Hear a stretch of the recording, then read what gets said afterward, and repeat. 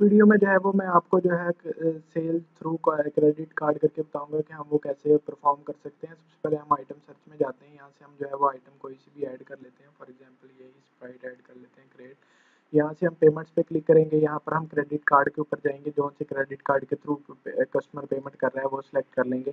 इसमें ऐसा होगा कि इसमें हम जितनी हमारा बिल होगा, हम उतनी ही क्वांटिटी ऐड करते हैं, उससे कम ज़्यादा नहीं कर सकते, क्योंकि क्रेडिट कार्ड के थ्रू जो होता है, ना हमने एक्सचेंज देना होता है, ना हमने कुछ भी करनी परफॉर्म करना होता है, जितने पैसे होते हैं सिस्टम में, उतने ही काट लेने होते हैं।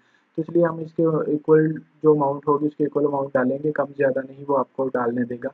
तो हम इसको सिंपली जो है वो एंटर करेंगे, इसको ज़ीरो ज़ीरो करके इसको डन कर देंगे। तो ये हमारी जो है, ये क्रेडिट कार्ड के थ्रू जो है, ये सेल हमारी परफॉर्म हो गई है। हम इसको ऐसे जो है वो परफॉर्म करें।